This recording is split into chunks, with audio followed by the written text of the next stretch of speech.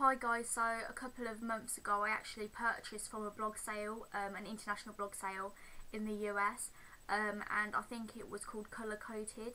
Um, I hope that's right and the girl on there is just super super nice and um, yeah she really helped me out because I'm obviously in the UK and it costs so much um, and I actually purchased this Sephora Glee set. She actually had loads of OPI sets for like $5 uh, this was eight dollars, which is around five pounds something, um, and it has eight colours. This has came out about two years ago, so you probably all know what it is. I've never tried Sephora makeup, and I really want to try Sephora OPI because you can't even get it on the French website. It's only an American um, collaboration. Um, and it's just really, really cute blue colour, some really holographic shimmer, a nice green, a really blue, a nice corally colour, which is actually exclusive only in this set. Um, so that's that. And then for five dollars she had these OPI Femme de Cirque or whatever that is.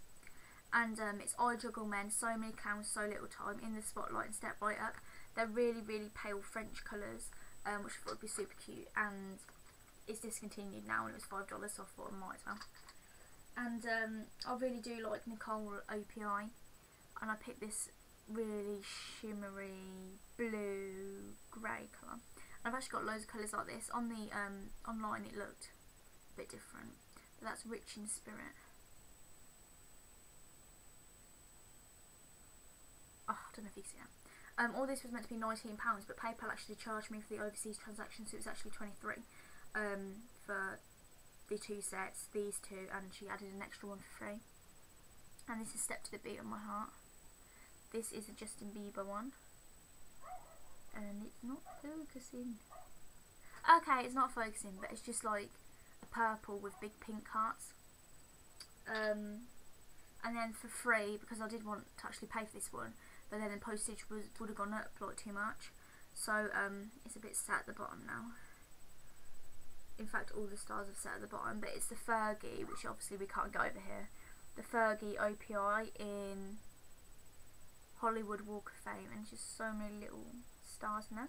That was so nice of her to send that free. So she is so like her blog and everything and I think the sale's still up going up and going. Um, so I think um, her blog's colour coded. So if you just Google that.